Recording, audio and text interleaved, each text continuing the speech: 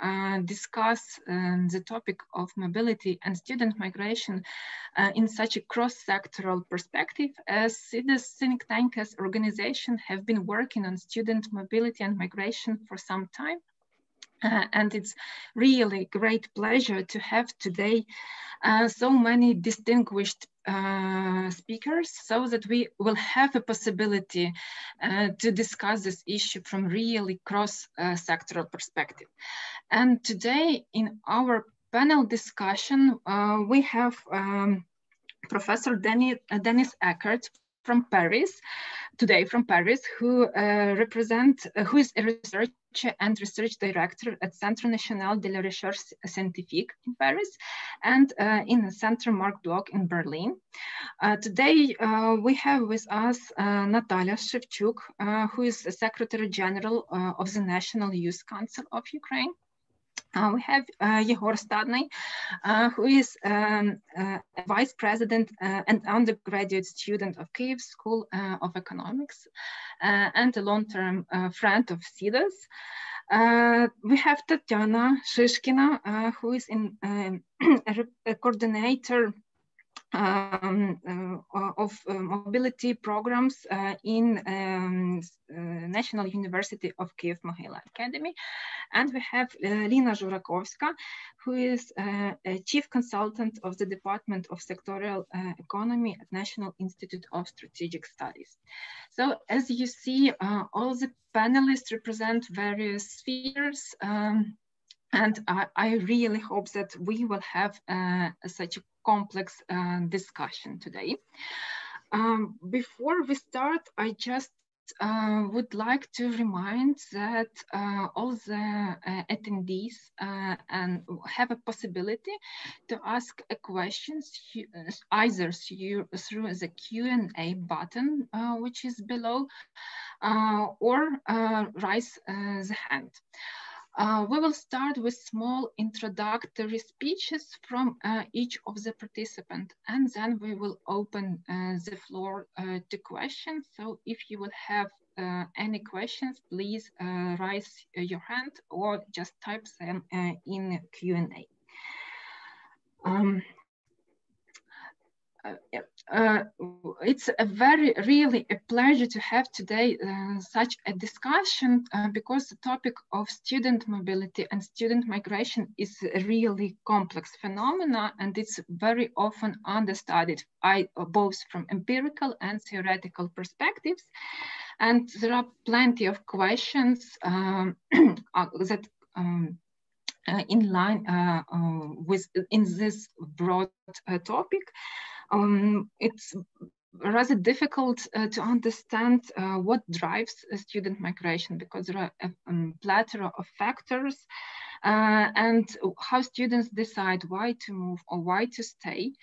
Um, and uh, it's an emerging process in Ukraine. So not so many uh, people, uh, students and youth are engaged in student migration. So uh, I would really appreciate it if we could have today more horizontal discussion uh, in an informal manner, uh, just to try to think how this student mobility and migration will develop in future and what are the challenges uh, and and try to find this uh, cross-sectoral uh, perspective. So um, I will now give a word to uh, Professor Denis Eckert, uh, who will give us an introductory uh, speech on uh, the flows of student migrations and the special aspects of this issue. Please, Professor Denis Eckert, the floor is yours.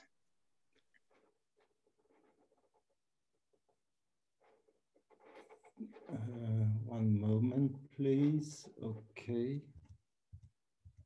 I hope uh, it works well and you can all uh, see uh, the shared screen. And thank you very much for this uh, invitation. I'm honored to share this uh, discussion with you today. I have five or six minutes, if I remember well, and I will simply introduce uh, the issue of foreign student migration in the Ukraine. Um, the um, and make some uh, preliminary remarks. Uh, I'm just at the beginning of uh, study on this uh, issue. Uh, the issue of uh, student migration is quite popular in Ukraine, and especially because of the dramatic increase of out migration of young Ukrainian, especially, for instance, uh, in Poland. So it's a very, very well known fact that uh, more than the half of foreign students in Poland come from, from Ukraine. Um, more interestingly, in my view, is the fact that uh, in the whole region, including uh, Belarus, uh, Ukraine, Poland, the number of, uh, the general number of, in, of, students is sharply declining. So you have uh, extreme spectacular figures uh, coming as well as from Russia, as from Ukraine, Belarus and Poland that will uh, signify and show us a decline of more than 30% of the uh, students, a number, general number of students in the whole regions. Um, but uh, the interesting fact is that uh, the uh, foreign students are, have become a sort of asset for uh, local universities.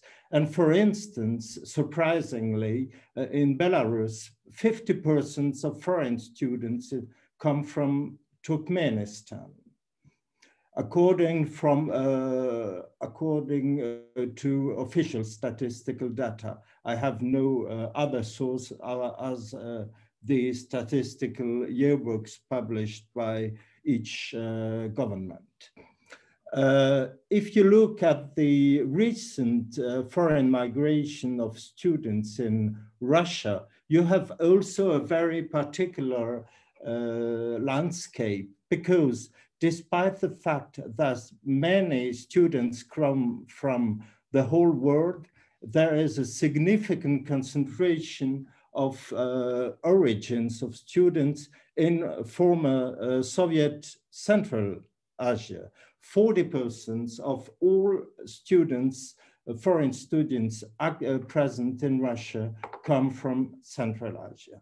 Uh, they, uh, this is also a very interesting uh, fact. On the contrary, uh, and it's a sharp contrast with all other neighboring countries, the origins of foreign students in Ukraine are extremely uh, diverse. Uh, the first nationality is uh, India with uh, more than 20%. So you have a great variety of origins in the case of Ukraine. And this is the single case uh, among these four uh, countries where you have a highly globalized system of origins of all these foreign states. I have also made uh, some preliminary uh, research on the regional uh, um, of the places where um, uh, foreign students uh, locate themselves in the Ukraine. And uh, you see that Kiev, surprisingly, is not the first place for foreign students. Kharkiv is the first city.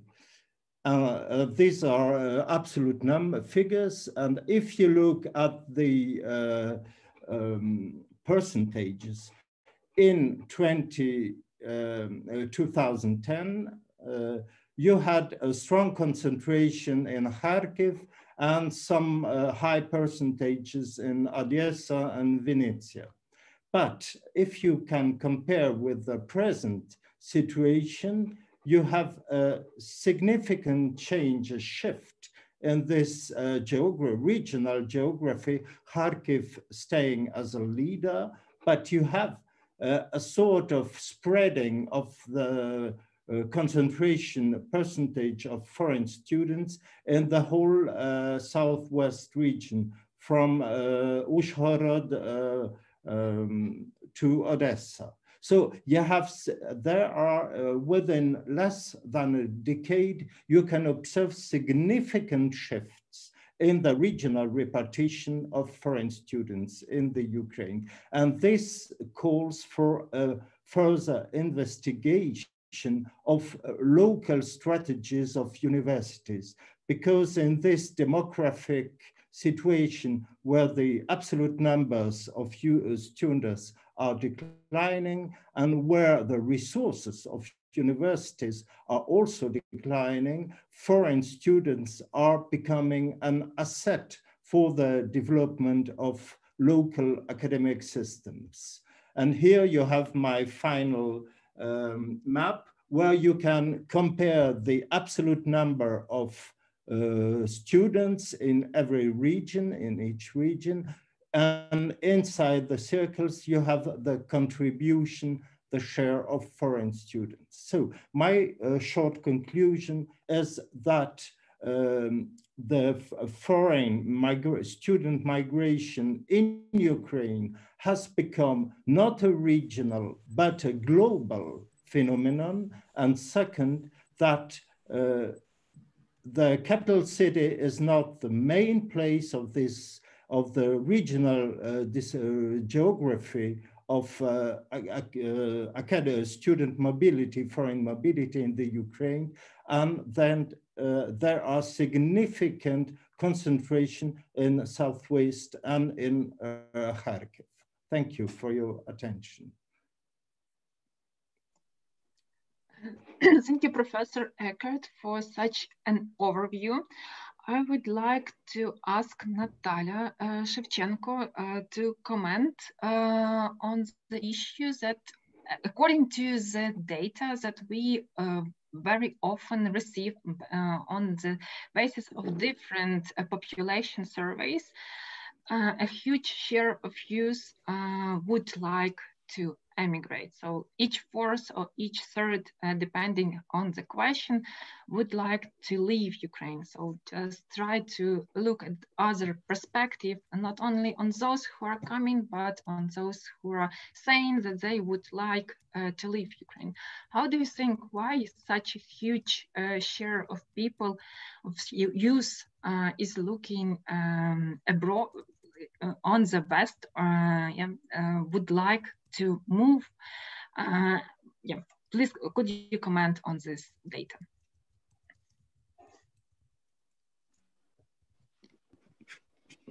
Thank you, Alexandra. uh, so uh, I will give a perspective from the NGO sector and uh, of my own background of interacting with young people. Uh, first of all, uh, I believe that uh, it depends in what way the social study was conducted uh, because uh, depending on the matter how the question was formed, if it was asked if young people would like to move to another country or they are having already plans to move. Um, as the National Youth Council of Ukraine, uh, we were conducting recommendations to the uh, Youth Strategy 2030 youth strategy of Ukraine. And we had a bit another data, which was saying that uh, around 76% uh, uh, of young Ukrainians have never traveled abroad. Only 21% of young people have been abroad and only 3% of young people often and uh, uh, the main uh, point why young people would like uh, to move abroad. Uh, it, it is linked to the uh, community can uh, provide for the young people. At the age like 17, 23, like very common uh, thing that young people are seeking for opportunities for self-development, self-realization, and finding uh, possible ways to socialize within the society and uh, find resources like how they can live later on. Uh, so in these terms, uh, in matter of uh, migration in Ukraine, um, if we are talking about uh, those regions uh, where are not so many international youth students, where are not so many working uh, NGOs, which actually provide opportunities for young people, uh, we see that uh, as a National Youth Council, uh, that youth activism is not uh, so well developed in these regions, and also that uh, the knowledge of English or other foreign languages is quite quite on the low level. So it also influences on the um, level of migra- migration because yes young people would like to visit some other countries but uh, in terms of economical situation in terms of uh, knowledge uh, of information how to do this uh, in simple way how to open a visa or how to uh, receive a, passport uh, not, not internal one but um, for, for international uh, traveling. Uh, not so many young people, even at the age of 17 or 23, uh, are informed well, like how to do this basic things. So mostly, if you talk about migration, uh, most of opportunities are coming from Erasmus or some other uh, international programs, which uh, in some way can provide cost coverage for traveling, food, insurance, and so on. And basically these programs help uh, to become like open door for young people to visit uh, not only uh, EU countries, but also uh, some other countries like USA, if you call about some other exchange programs. Uh, if we are talking about uh, young people who are involved um, in um, vocational education and trainings, I mean, uh, if you talk about uh, but, uh, professional technical uh, colleges, which uh, uh, perform as a place for providing education for young people, which will be involved in some um, services, engineering stuff, and so on the, uh, the level of migration depends actually on the level of knowledge of English because if young people don't know the working language, it's even if they are good specialists, it's very difficult for them to uh, move to some other uh, countries. So uh, in general, to sum up, my answer will be that uh, there are some uh, other factors uh, knowledge of uh, languages, knowledge or access to information, uh, economical situation, which can influence on the general situation when young people declare that they would like to move and when they actually come to action and uh, they use these opportunities and uh, uh, say yes to migration and to better education and to opportunities which can be provided in other countries. Thank you. I uh, hope that answers. Thank you, Natalia. And now I would like to pass the word to uh, Tatiana Shyshkina. Uh, Tatiana, could you please give us a general overview of the tendencies concerning student mobility, if you can, and probably if you could uh, just link um, in your answer to um, the issue that was uh, raised by uh, Professor Denis Eckert, how these flows are shaped um, probably by some programs. Uh, do students uh, choose uh, certain places? is this, um, is the, are these flows concentrated in some regions or are they diverse? who participate in the programs. Um, please. Okay, uh, thank you. Um, uh, uh, it is very nice to uh, be present here.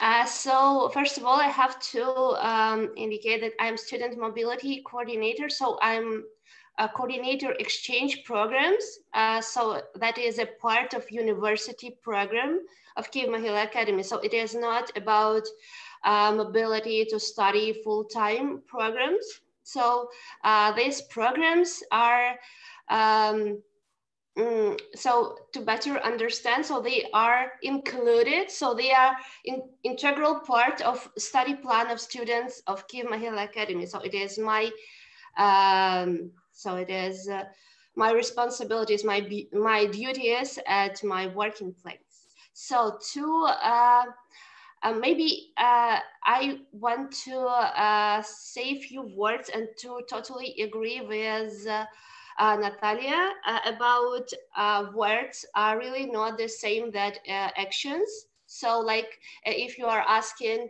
about, um, so before our discussion today, I had discussion with the students who are now the mobility and it was nice to hear from one student. So after I asked the question why, so why not all students are applying for exchange programs. So, and uh, the main answer from, from like my students was, um, so if you are will ask a student at KMC, it is like our uh, place in Kiev Mohyla Academy. So um, do you want to go for exchange? So nine, uh, nine of 10 uh, students will say yes, of course. But uh, then if the follows question, what have you done for that? So uh, not a lot of students will like um, tell that they are like uh, were looking for programs. So, or they are like contacted, have contacted to the international office. So uh, this, so I would, would like to support the point. So words are not equal to the actions. Um, uh, and I, uh, so to talk more about, um, about the, um, um, uh, to, to, talk more about how this, uh, what, so uh, what's which students or what kind of students are going abroad. So uh, what are their main motivation?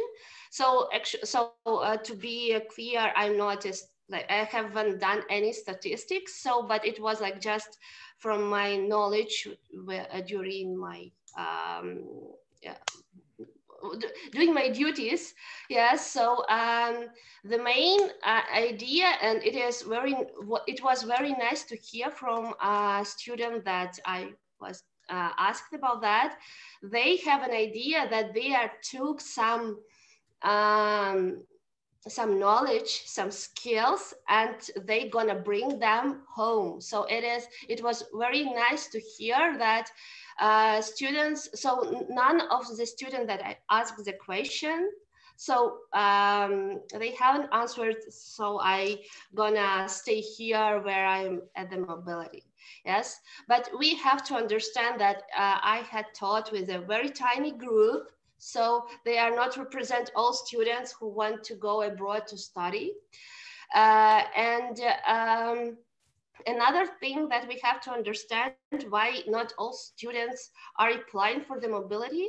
So as my, uh, my colleague or um, my colleague here at the discussion, uh, Natalia told that uh, Erasmus is the hugest, the most, the biggest, uh, I don't know, like uh, partner with the mobilities. So, and, other also um, like, um, partners. So they have some uh, limitations for, uh, so for example, um, uh, so they there are not that much uh, scholarships to give the students. So uh, to be sure, so all scholarship that we have all are used. So it is not a question of uh, so, so, if students are not going, it is not about that we have scholarships, but they are not going because of their will. Yeah. So all scholarships are used. Um, another question is that uh, according to these exchanges, so um, they are present some fields of studies. So when like, um, so some of the agreements are fixed to the, like some particular fields of studies. And uh, so, for example, if their uh, university can uh, teach students uh, about law, but we have no agreement for the law department, so our students cannot go for law department uh, and like some kind of that. So it is another part of limitation. Uh, and uh, language it is also the issue. So uh, most of our students are using English as an academic tool. However, uh, some of universities are preferred to teach students in a local language. So for example, in Spain, or um, it is sometimes an, uh, a point in Germany as well. Um, maybe um, uh, what else? Uh, uh, maybe uh, the um, thoughts, some se several thoughts about uh, what um, our students think about uh, their future after the mobility. I think it is the um, question of this discussion. So I think it is important to say this. So um, uh, some of the students uh, told me that they uh, really want to continue their studies as a full-time students. So they, uh, after the mobility, they uh, see that they have this opportunity. They have like the, this um, menu, you know, so uh, of all um, uh, all opportunities for them. So from Ukraine, maybe it is not that clear how it works, but after the mobility, they know how, how it works. Um, so it is not that, uh, so again, I would like to stress that students are not really want to go from Ukraine like uh, to live, yes, to live somewhere. They want to get some knowledge and bring this something very uh, important to Ukraine and to uh, grow something from that knowledge uh, here. So it is, uh, I think it is the main point that I would like uh, support here today. And uh, one more thing, uh, students after the mobility understand that actually they are not, uh, so when students are just going for the mobility, they think that they are not that much smart than European one students. And after this mobility, they uh, develop their opinion that they are really cool, they have a good knowledge, and uh, they, but uh, the implementation of their knowledge, they have the, the better field in Ukraine. So yes, I think it is it. I, I wish I have answered the questions. Thank you, Tatiana. Now I will pass the word to Yegor Stadnyi. Yegor, you are free to comment the previous speakers. And um, yeah, I would like uh, to um, stress that uh, the motivation of students is really different. And uh, Tatiana was talking about mobility programs from a rather high level university in Ukraine. Uh, but uh, the cohort of students students is really diverse and there are different motivations. Uh, and sometimes uh, students may choose not to leave Ukraine or to leave Ukraine and, um, and not to return. Um, yeah, uh, I would like Yegor you to uh, probably to comment on uh, um, all the previous speeches and if you can uh, say a few words about possibilities uh, to have a good education, not leaving Ukraine, that input would be all, also very valuable. Thank you, Sandra. And uh, well, I don't have any slides, and uh, but I think that um, the very interesting thing here to study the student uh, migration is how, uh, well, in a nutshell, each buyer could find uh, a proper offer. So uh, depending on the motivation and depending on the reasons why students choose to go abroad to study, whether it will be uh, out of Ukraine or inflow to Ukraine, uh, this is a combination of the um, uh, how much it is easy to apply, how much it is easy to enroll, meaning like the phase starting from the after you pass some documents to border guard, security office, migration office, etc., etc., visa application, and this enrollment phase starts after you, uh, well, compete or not compete with other uh, entrants uh, for your enrollment to the university. So is it easy or not to enroll to the university? So is it easy to study at the university? Uh, is it easy to study, meaning uh, that, well, what is the attrition rate? What is the dropout rate for foreign students?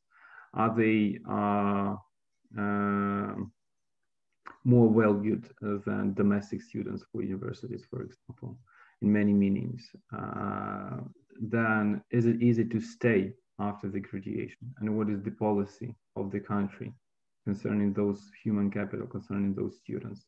So taking like grabbing all those factors, like combining them, we will have like different approaches and policies uh, in different countries, which attracts or not attract uh, or don't or, or, don't attract any students with uh, particular motivation. So if we take Ukraine, we definitely attract for our cheap level of study relatively cheaper than in uh, other countries, especially if Indian students, for example, comparing us to British universities, for example. Or, well, I think that any other Western comparing to us universities, or even Russian universities, then uh, is it is it is it cheap to live uh, in a particular city or country? Uh, well, again, uh, I think that we attract in a way that it is cheap to live here, it is cheap to study, and it is, well, uh, if we don't take into account the corruption in the process of admission and enrollment, starting from the, the you need to pay bribes to security office to just get a visa, for example, or to, to, to have approved your invitation to go here. Uh, but it is, uh, and those are obstacles definitely that students need to pay bribes to enter here. But the desire of those students to enter Ukrainian universities higher than this obstacle uh, uh, that they pay bribes. And the key question is like why, why it is so. Uh, in a normal situation, if you are asked to pay a bribe, well, the normal reaction would be like, okay, I will avoid this path, I will avoid this track, I will look for something else. But those students are really interested in that. Not in all, not in all cases yes the, the, you need to pay a price but this is a, a, horrible problem here in ukraine with that. And again uh, is there any policy for students after the graduation uh, do we have any tools to integrate them during the study and after they finish them and uh, is it a policy to recruit human capital for labor market etc etc or to attract some specialists. Like, it is interesting how we actually trying to attract. Um, you, you, you see, uh, that could be enough topic for our discussion, but Ukraine uh, now at least publicly struggling to summon IT specialists from Belarus. And it is very interesting having, well, relatively good study programs in IT and uh, some of them are very good designed and modern. Uh, uh, we are not struggling to attract foreign students to those programs in order to uh, prepare future IT specialists. But we are trying to attract uh, uh, IT specialists from like totalitarian regimes like Belarus, for example. And here is the question: real is it is it uh, element of systematic policy of attraction certain specialists to Ukrainian labor market, or this is an episode, such an like uh, just one attempt uh, to say that we are caring uh, about the issues in Belarus. So uh, for me, from my perspective, this is like that we don't have any strategy in Ukraine.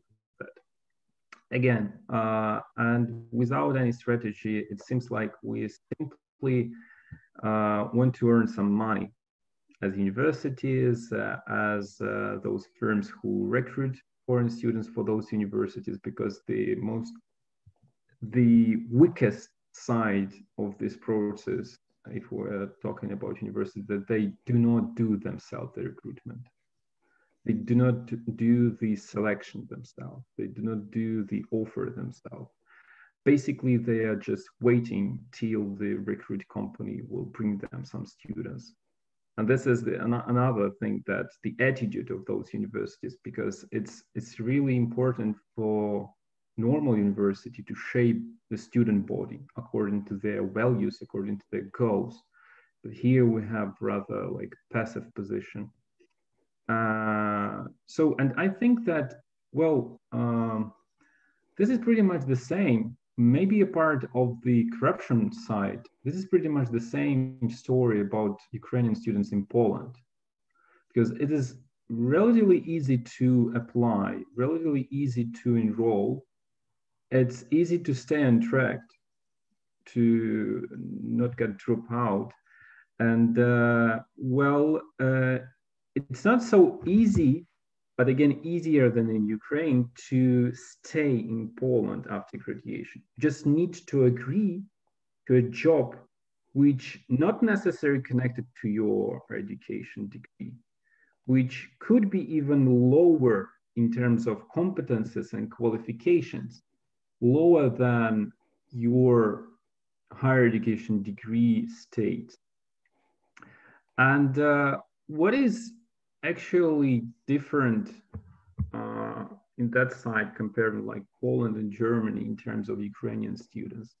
That this track in Germany or uh, countries from Anglo-Saxon world, that it is not so easy to enroll so there is a selection procedure. You need to show the level of knowledge. You need to prove that you are capable to start study. And uh, uh, again, I think that uh, this is uh, deep down in the policy level, on the policy level, whom to attract, because we know that Germany immigration policy is I must say, like more sophisticated than in other countries, for example. The same thing with Canada, for example, because they have a targeted policy to attract brains across the world. So that means that it will be easy to apply like many formal procedures, but it is not so easy to enroll. And definitely it's not so easy to stay on track.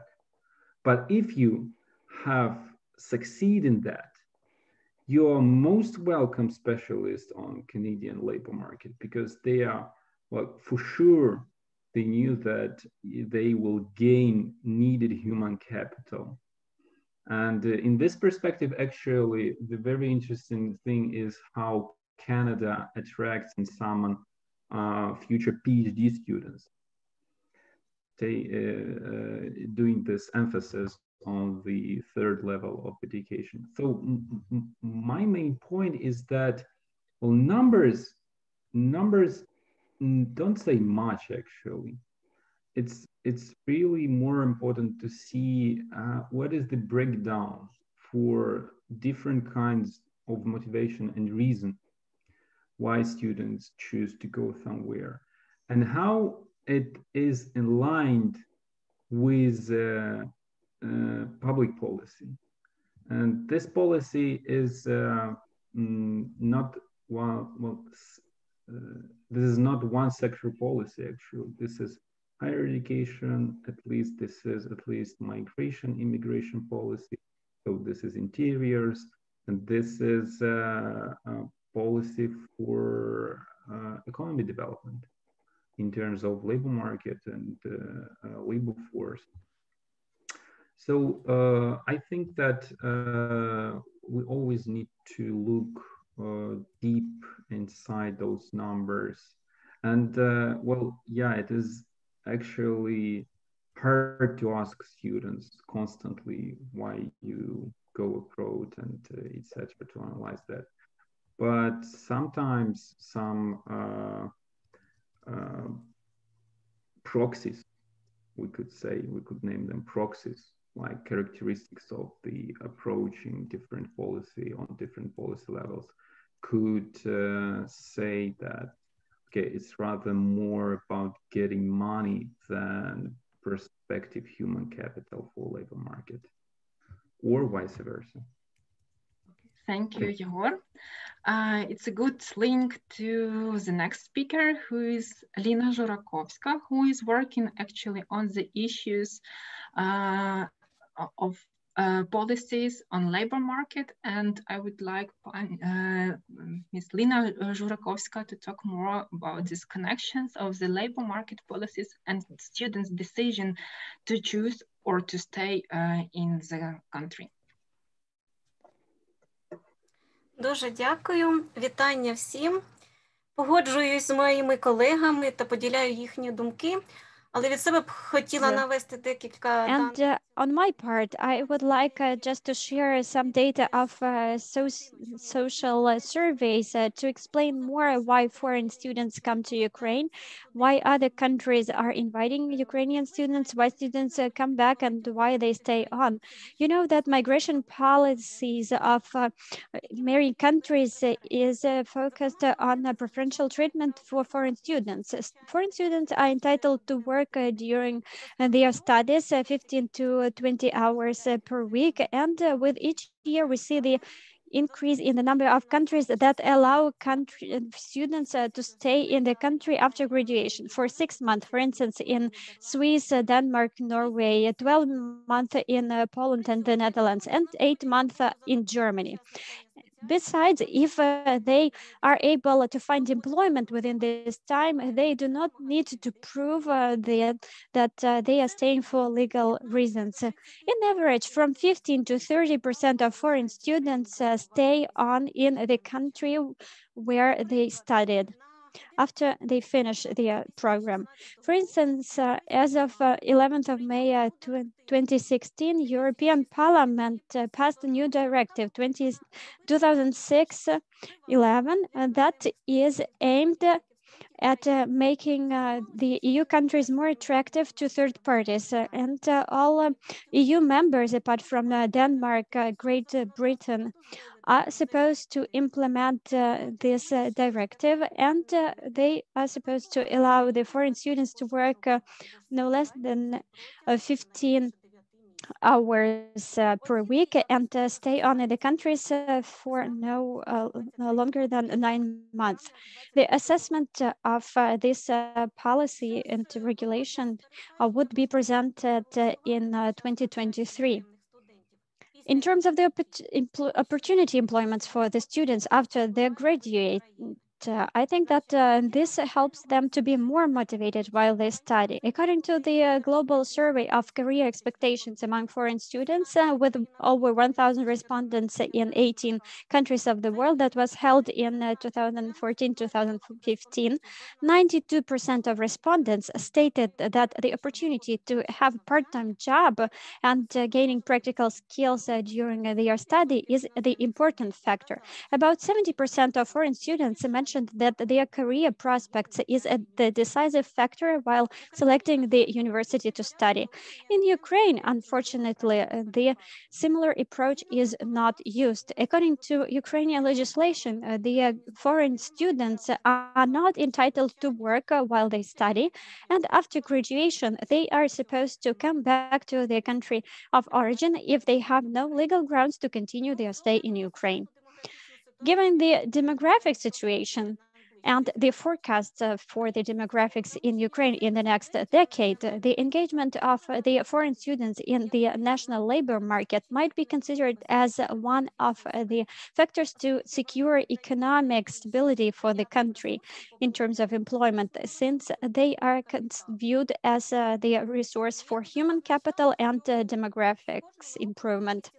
As I mentioned, with every year, the number of foreign students in Ukrainian uh, universities uh, goes up. For instance, in 2019, the number went up by 50% versus 2011. There were about 80,000 foreign students. Uh, Professor Denis Eckert mentioned that mostly those are students coming from India, Morocco, and Azerbaijan. But with the spread of uh, coronavirus and uh, with the lockdown restrictions, uh, some changes were introduced into the learning process. And as of now, as of October 26, 2020, 26,000 um, students less arrived to Ukraine uh, compared to, to, previous two years. One more interesting survey, how do foreign students pick Ukraine? On December 7th, the uh, International Center for Um, public Education uh, stated uh, that 70% uh, of uh, foreign students respondents uh, said that they picked Ukrainian higher educational institutions because they're happy with the quality of uh, study. 60% of foreign students were satisfied with the tuition cost and 35% of foreign students picked Ukrainian education because of, of the recognition of certificates and um, uh, about 20% uh, uh, said that uh, this is uh, because uh, they will, will, be able to be employed in other countries. How have they learned about Ukrainian universities? 30% from their friends, 20% from recruiting companies, and 5% found out about Ukrainian universities on the website. Besides, there was the survey on the obstacles for foreign students coming to Ukraine in terms of obtaining visas. In our opinion, uh, the lack of uh, employment permit uh, during the study for the foreign students uh, decreases motivation for them to come to Ukraine and Ukraine is losing uh, this uh, potential in human resources. Cedos Center might have mentioned that there was this survey conducted in Poland among Ukrainian students. And according to that survey, 50% of Ukrainian students uh, during their studies uh, have work and 2% uh, work uh, full time. I would like also to share the results of interesting uh, survey on the migration attitudes among students. According to a social survey of the International Institute of Education, there was the survey conducted uh, by uh, Lviv uh, National University, Lvivska Polytechnica, and uh, Kiev Polytechnical Institute. According to that survey, students are rather willing to study abroad. One in four of uh, Kiev Polytechnical University and Lviv Polytechnical Institute wanted to study abroad. Although, even though they wanted to study abroad, uh, the respondents are not really certain about the opportunities to actually go and study abroad.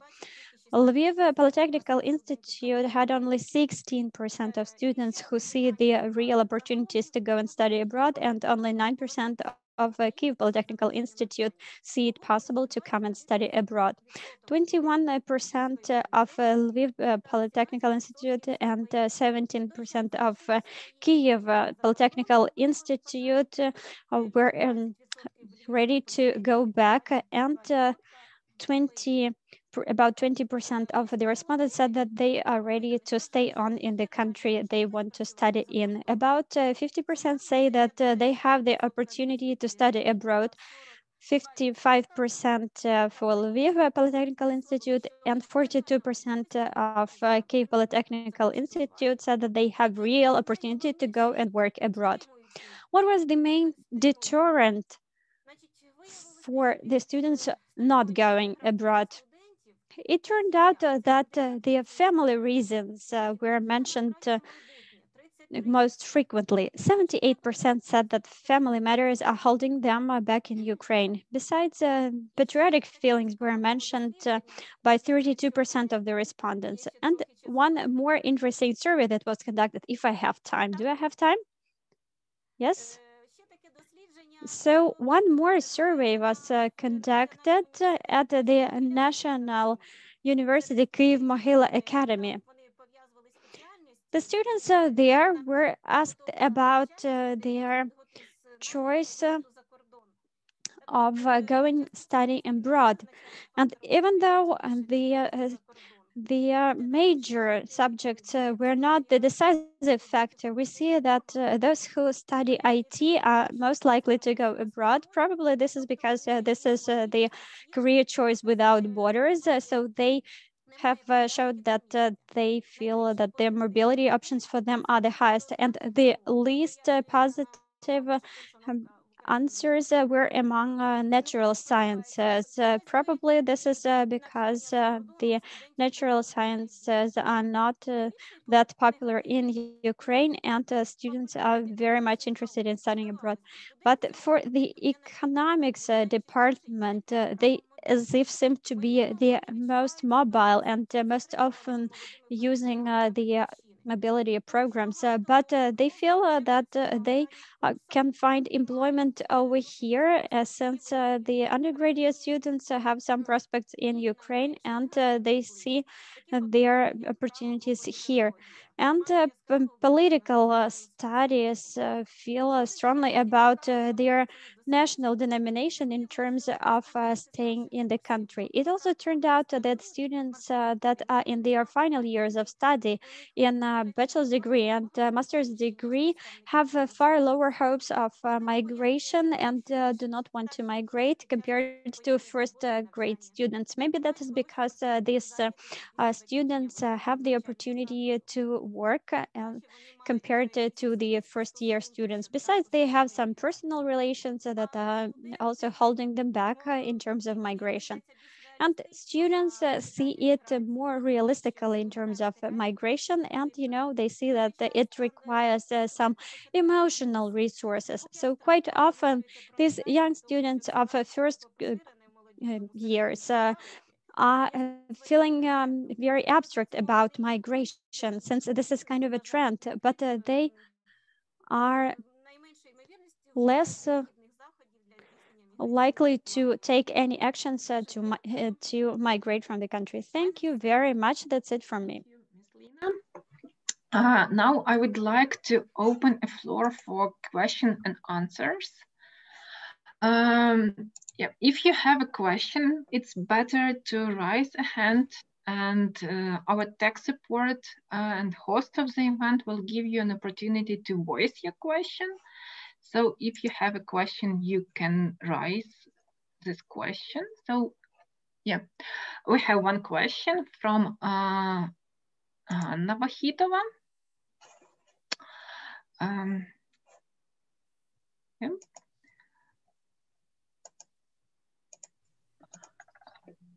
Anna Vahitova, you can uh, you have now an option to ask a question uh, with a voice. Uh, доброго дня всім. Uh, hello everybody. Uh, мене запитання до пані Ліни. Yeah, hello everybody. I have a question to Miss Lina, so let me ask it in Ukrainian. So this sociological surveys that you named. I understand that people who study natural sciences move out because there are no possibilities for them to develop their career here. But if IT students is a very mobile group and they can work anywhere, then probably their um, motivation to move out is a little bit different. It can be explained in a different way. So is there anything in this uh, studies that you named? Is there a study of this question in this uh, researches? It was a question for you.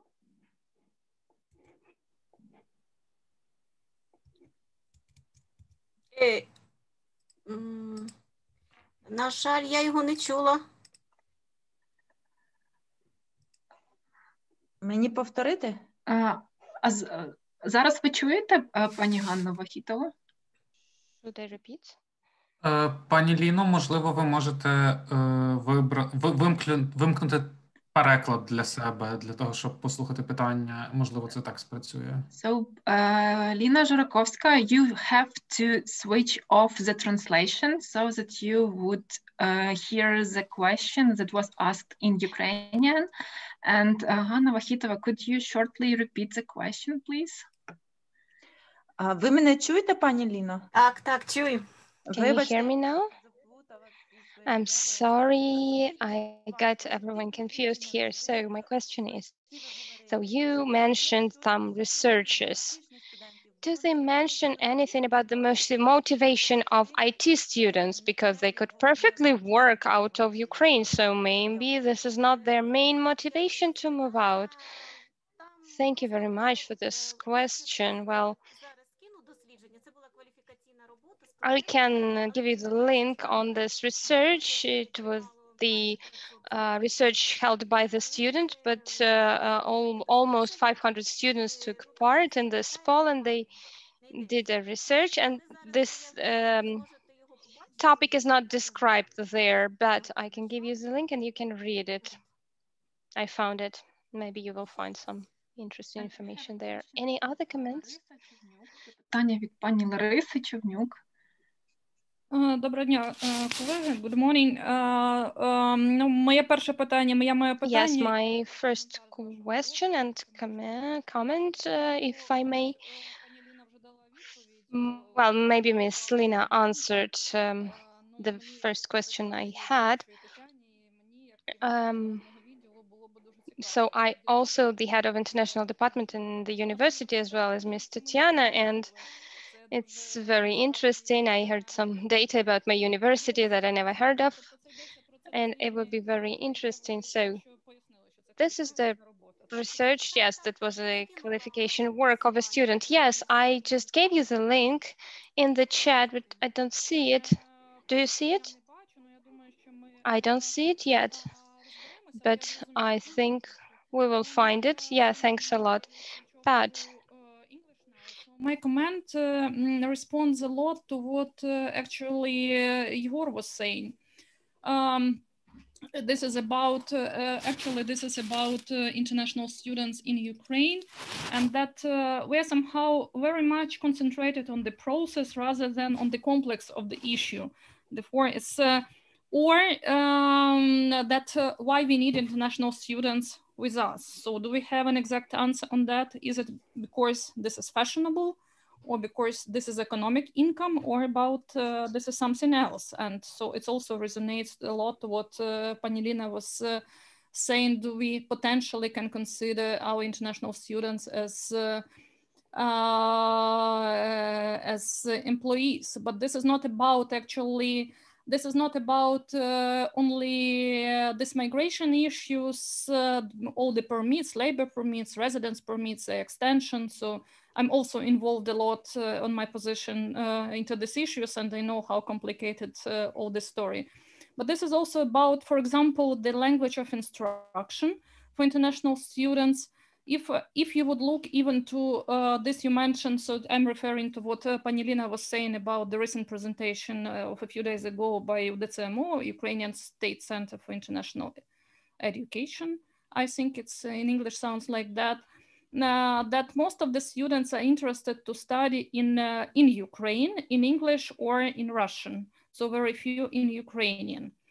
Um, I definitely don't have anything against English, so it should English language should exist, and uh, I'm definitely in favor of uh, certain programs which could be taught in English also for in, international and Ukrainian students. But okay, so if we would start thinking maybe more complex about international students as potential uh, labor force, they somehow would need probably Ukrainian language more.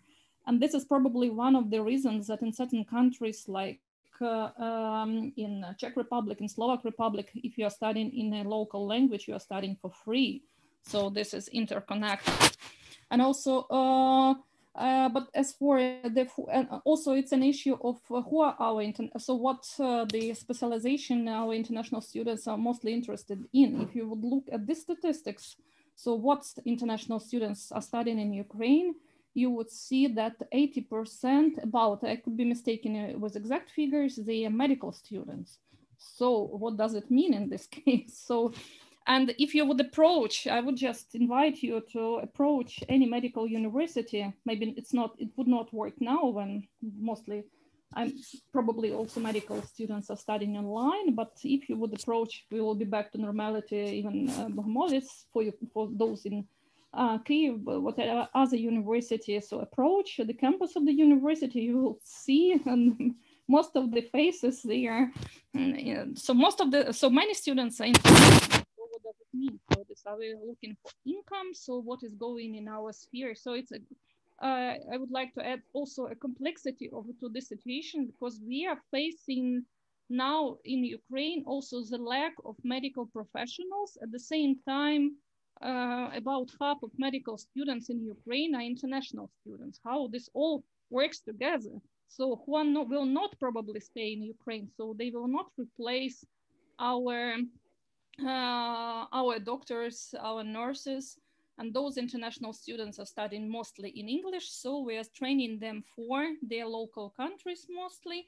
So therefore, is what is uh, is it correct the situation actually? So how it's all uh, benefits uh, us as a country uh, in total. And uh, as for the local students. So if to transfer to to to the um, to other situation, Ukrainian students. Uh, uh, Ukrainian students going uh, abroad. So I would never believe that any so this any barriers. If we would just discuss the situations as how to improve education in Ukraine, this is good. Definitely, if our education would be uh, of higher quality, of high quality. So it's definitely perfect. But if the students would see, uh, uh, and we are discussing here the mobility of students, of smart people who are in, it's like special type of migration.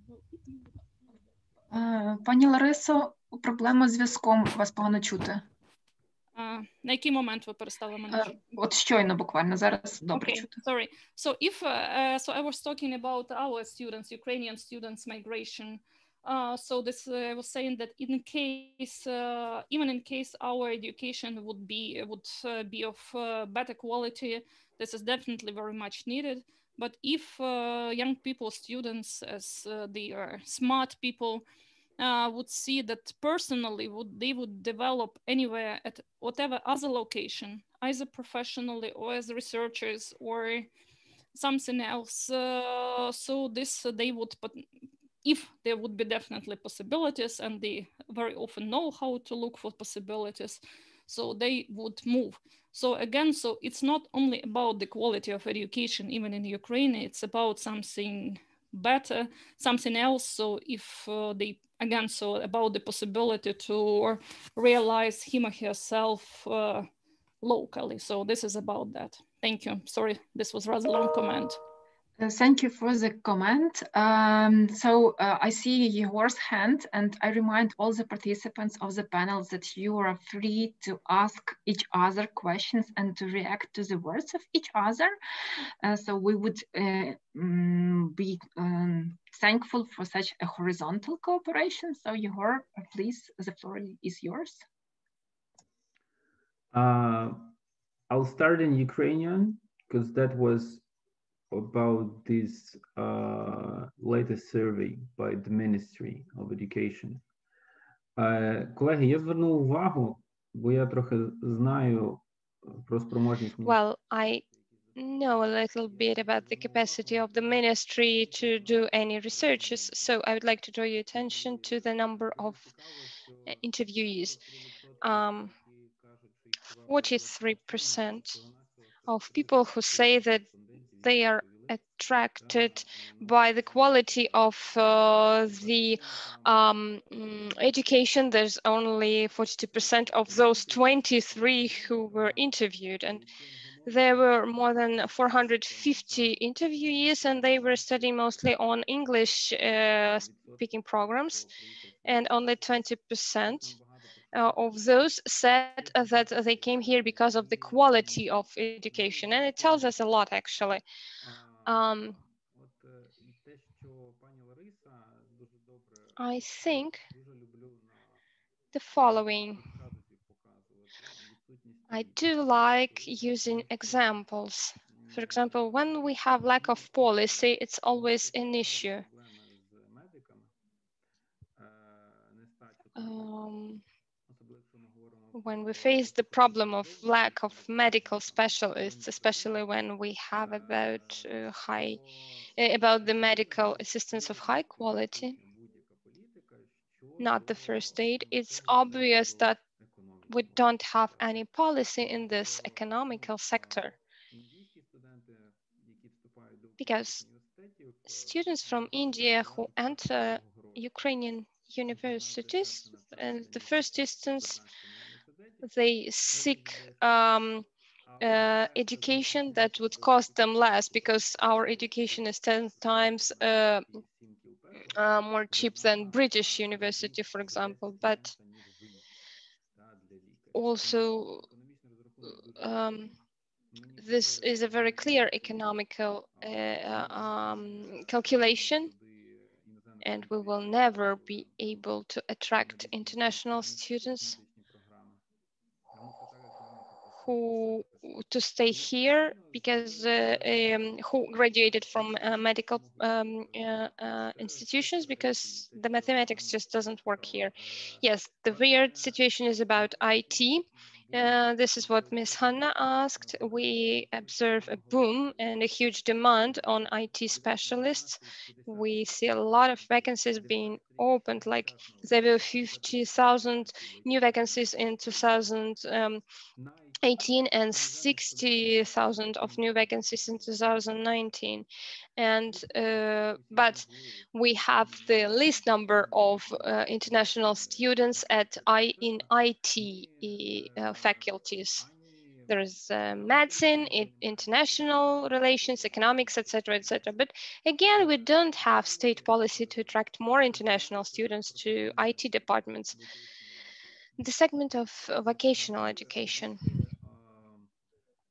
it could be very attractive, especially for the countries which uh, give us traditionally a lot of international students because they really have um, troubles with uh, vocational education. The level of uh, this vocational education is not as the level at Ukraine. We could export the services, but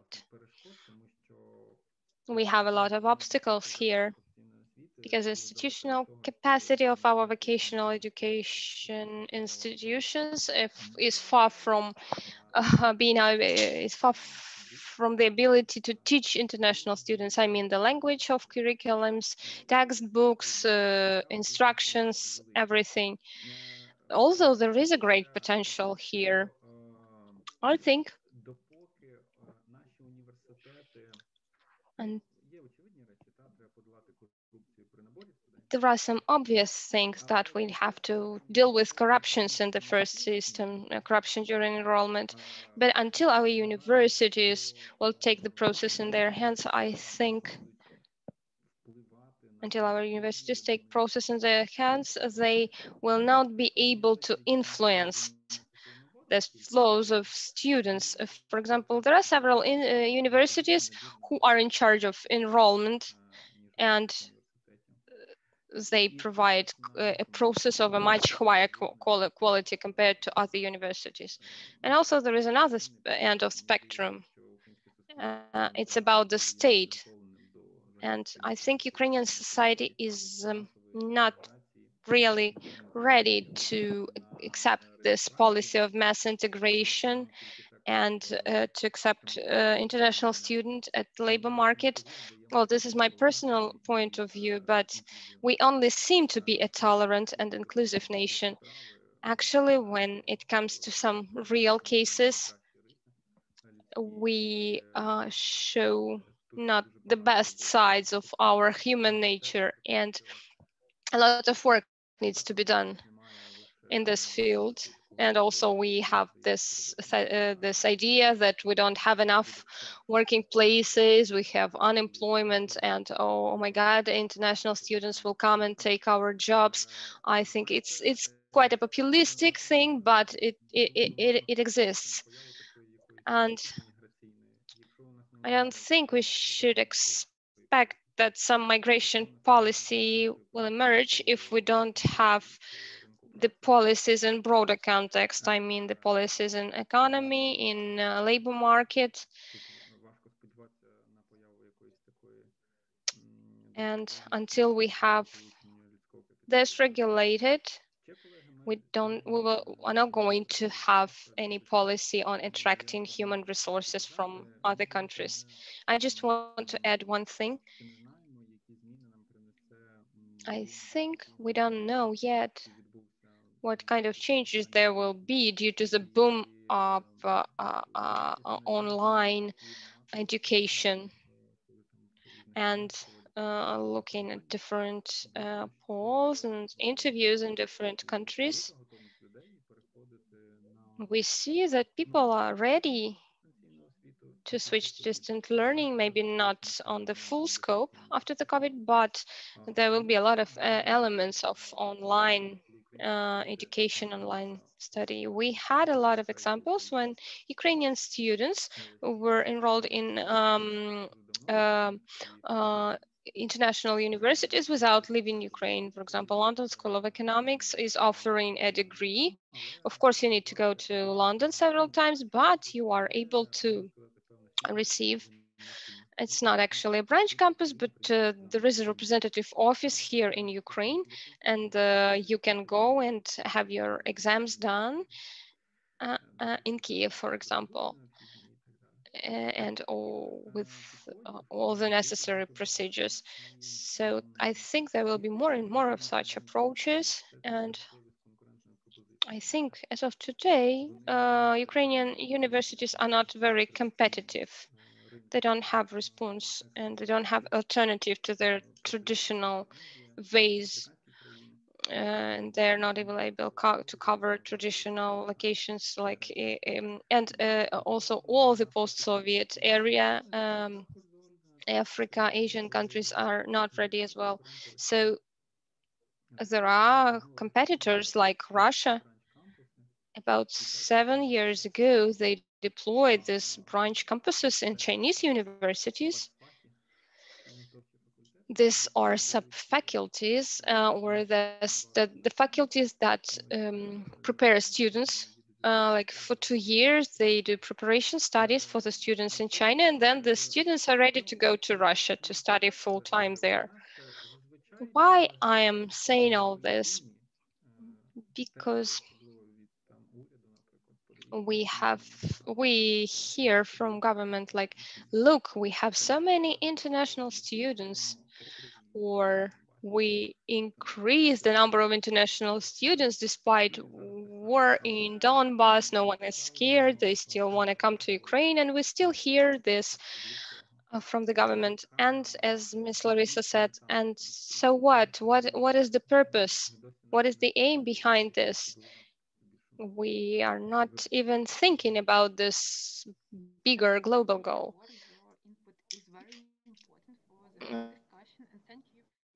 for the rising the question of uh, the um, um, um, uh, connected to um, the uh, uh, the problems with uh, crossing the borders and uh, that more and more university have some distant uh, connection with the students. So I will invite all the speakers now just to try to think how these developments connected to COVID would influence the flows of the students, the motivation of the students. More students will come, stay, return uh, any any thoughts that you have.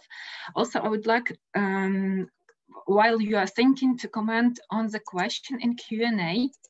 And uh, yeah, we in our panel, uh, we have not only speakers and experts, but also these are the people and many of them uh, do have some background um, uh, connected to student mobility and migration. We have participants of mobility programs, we have returnees, so the, uh, those who were studying abroad and returned. So if you have some specific questions, uh, you can rise uh, to our experts slash uh, people with migration background.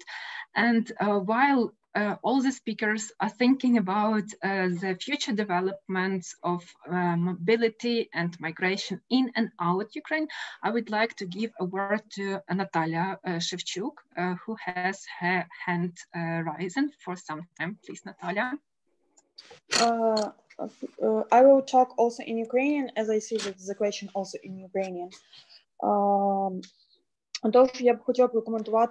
So I would like to comment on the question with regard to, to my personal experience uh, who took part in Erasmus exchange program in 2017-2018. Uh, so my experience and my motivation to take part in Erasmus program was that uh, I found out about that uh, at about uh, 2014. So Erasmus program became available to Ukrainian students in 2014, but uh, the international offices were not uh, working as they are now. This was more the opportunity for those who speak English, for those who study international relations, or for those who were studying something related to international relations. Well, at least uh, that's the experience from uh, my uh, Lviv National University.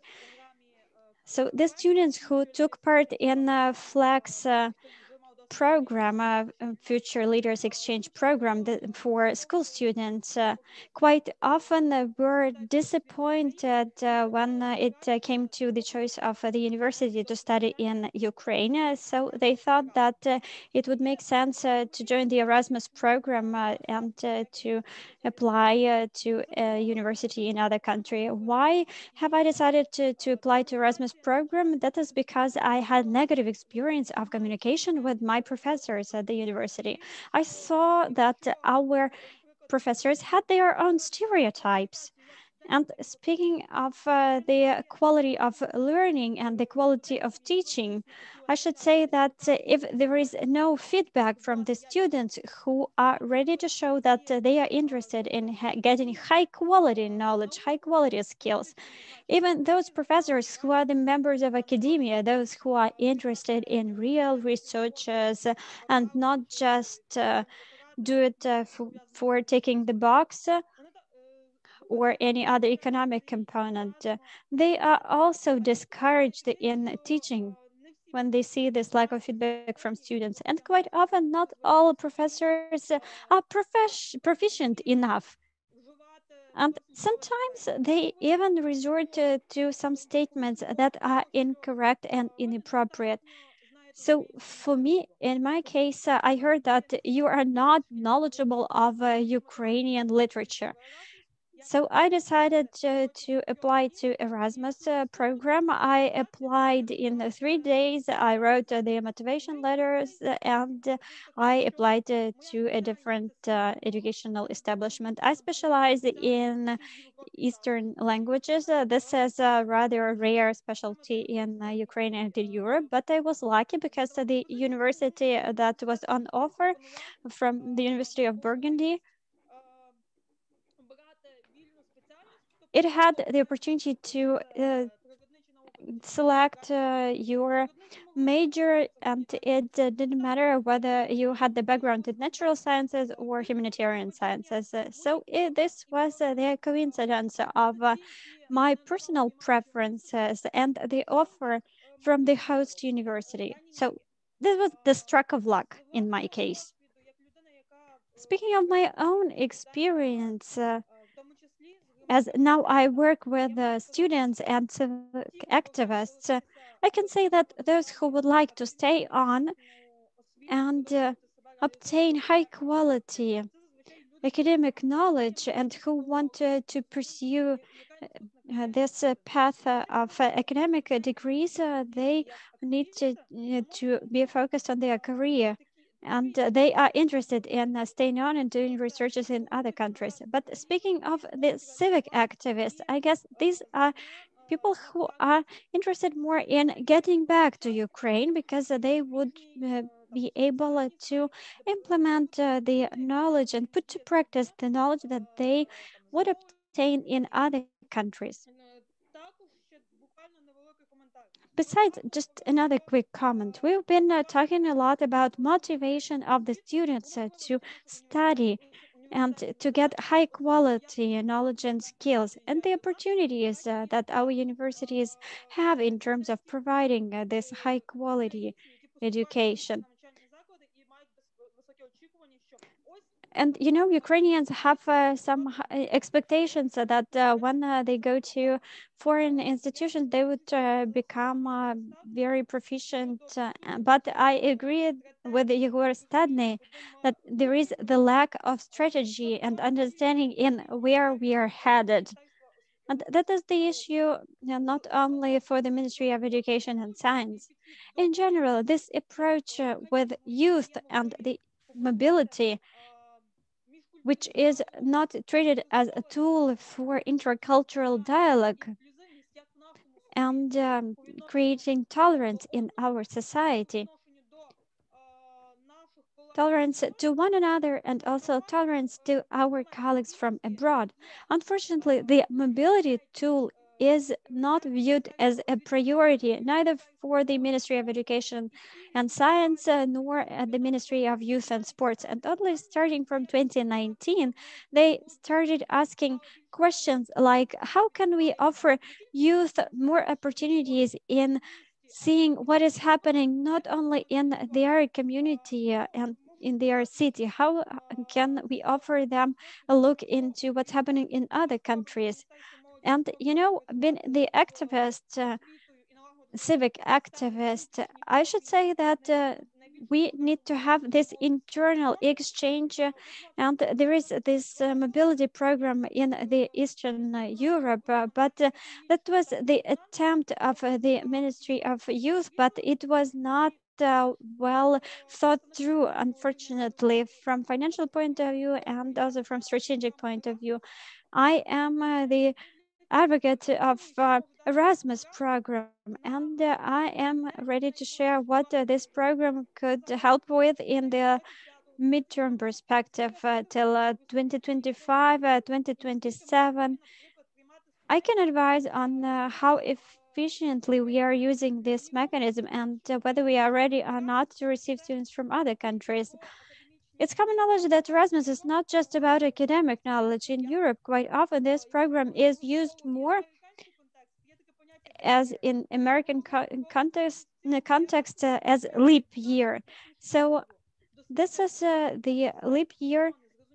This is the opportunity to look into the culture of other countries and to, to erase the borders. So quite often it's not just about uh, this uh, attempt to learn more. This is about uh, looking into the culture of other country. We have uh, these opportunities uh, we have these opportunities uh, with uh, these uh, conditions uh, that uh, are different from other countries because it's cheaper to live in Ukraine. We have an opportunity to engage a high number of students and we can make a step forward to creating more tolerant society. But yet there are questions that pertain to the infrastructural readiness. And uh, the question of uh, work with people. Do we know the English language? Uh, are we ready to communicate? And are we ready to give information or not? Because, uh, you know, we either need to, to be well informed or we need to inform our students. So we need to, to have evidence-based uh, policies and not just uh, coming up with idea, trying to do something grand uh, without clear vision of uh, the direction we are moving to. Thank you very much input to our discussion and it's, it's really a, a, real life example. Thank you. Uh, Professor Denis Eckert, you have your mic on. Did you want to comment uh, on the development of uh, migration flows um, uh, in out Ukraine uh, in yes. the view of the COVID? And then Tatiana Shyshkina. Yes, so I have mixed uh, experiences and contexts both in Germany and France. And I'm uh, myself, I'm uh, teaching uh, this semester in France. Um, and uh, so I have some uh, reflections on the future of distance learning and foreign migration. Uh, in my view, for the future, when the peak of the pandemic will be away, I guess um, that uh, distance learning can be assessed as a complementary resource for people, but not as the main channel for higher education. In my view, it's a pure uh, illusion and uh, without any possibility of socializing in a foreign country, I could not see uh, hardly any uh, serious incentive for people to uh, Moroccan students to enroll in a Ukrainian or German or whatever uh, university. So it's a question of quality of the uh, distance learning for sure, but if uh, the students uh,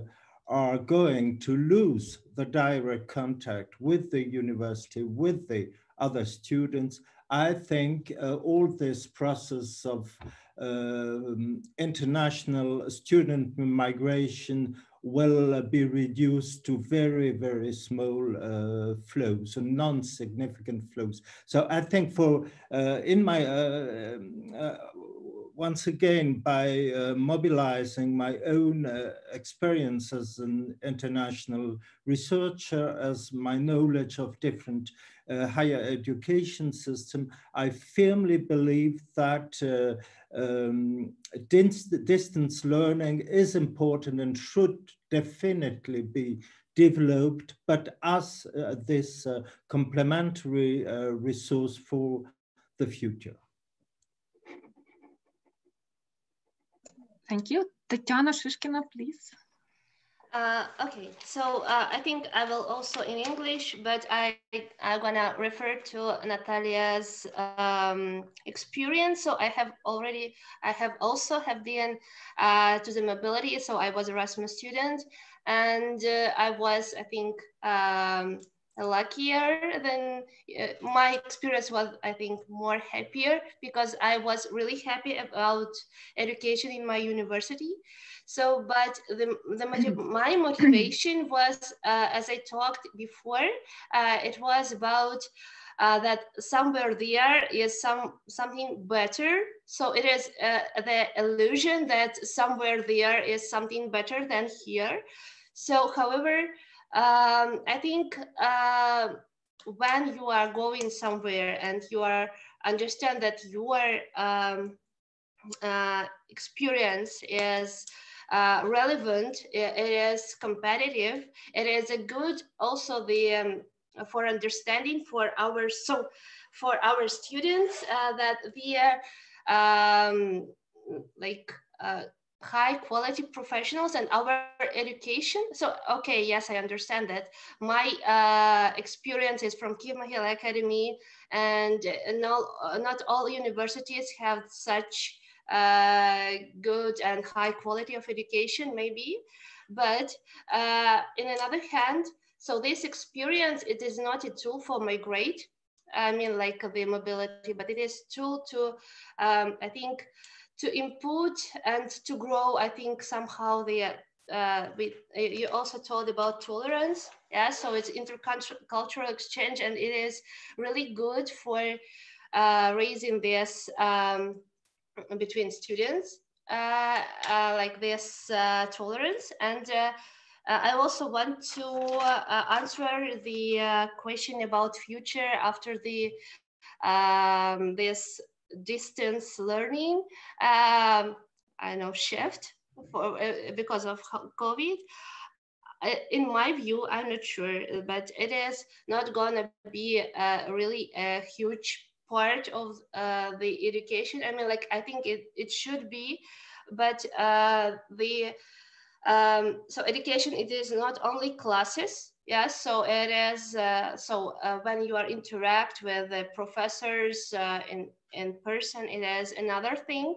So, and the people almost going to study somewhere to have to, to put themselves into the environment.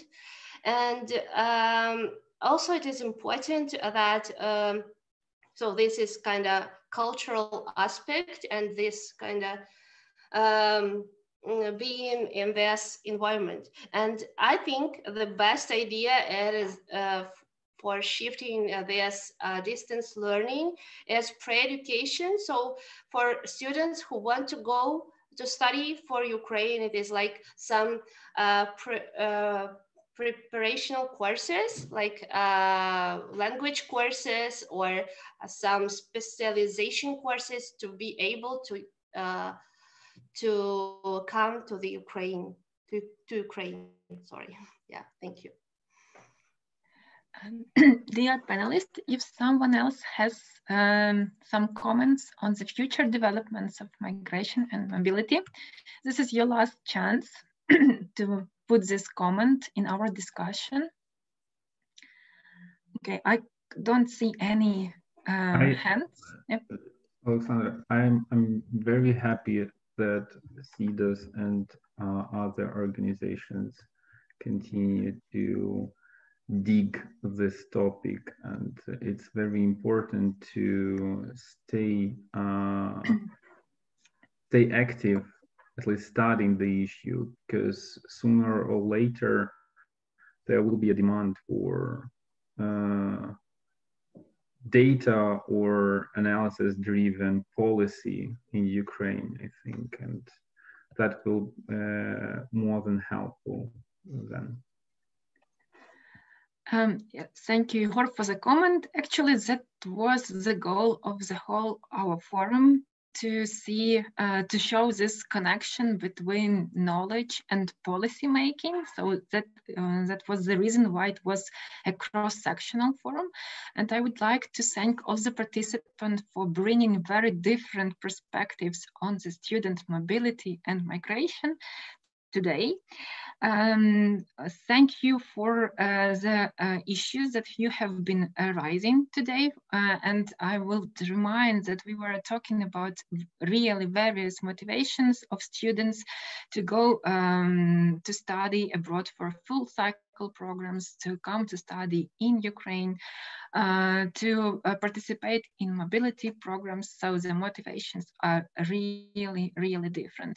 And uh, we have risen the question of this cross-sectoral cooperation um, in uh, when we are talking about international students that are coming to any country, uh, whether uh, these uh, policies, labor market policies, and higher uh, education institution policies, and the policies uh, and the view of foreign students uh, of a country in general, are they in line?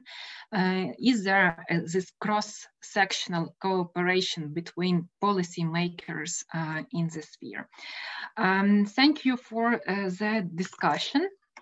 Uh, and uh, uh, now, according to uh, our schedule, we have a closing event. And I would uh, like some of the organizations to help me to um, uh, coordinate the process and yeah, to inform what should we do next. Yes, now we have people from the parallel event who will join us in, I think, few minutes. So Thank you all for the discussion. And